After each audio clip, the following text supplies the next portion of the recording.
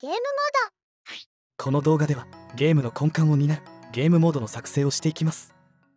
ド作成。ブループリンツフォルダの中で右クリックから。ブループリントクラスを選択。ゲームモードベースを選びます。名前は DP アンダーバーゲームモードアンダーバー 2D とします。次に DP ゲームモード 2D をダブルクリックで開き。デフォルトポーンクラスに DP アンダーバーと検索して DP プレイヤー 2D をセットします。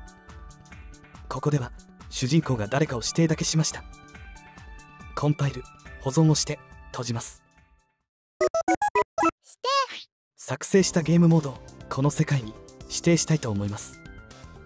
左上メニューの Window ワールドセッティングを選ぶと。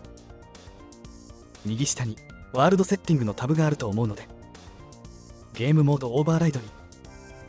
DP ゲームモード 2D をセット。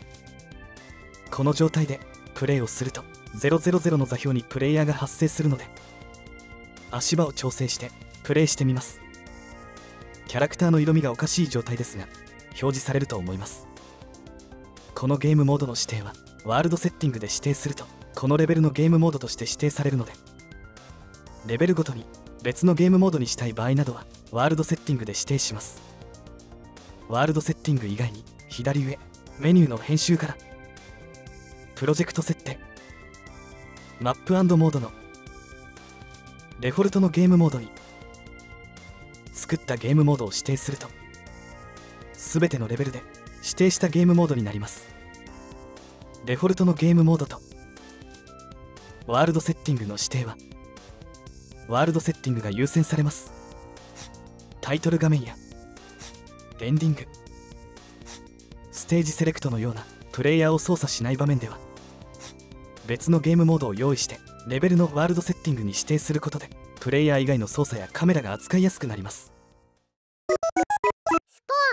何も用意していない場合000の座標からプレイヤーが発生しますが別の場所から発生させる場合はプレイヤースタートを用意しますレベルビューポート上でコンテンツの追加アイコンから。基本。プレイヤースタートを画面にドラッグ右の詳細欄トランスフォームの右の矢印をクリックして位置をリセットしてから。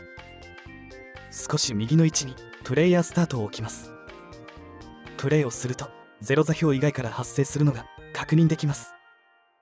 色がおかしい状態のままだとテンションが上がらない気がするので色味の調整を次の動画でしたいと思います。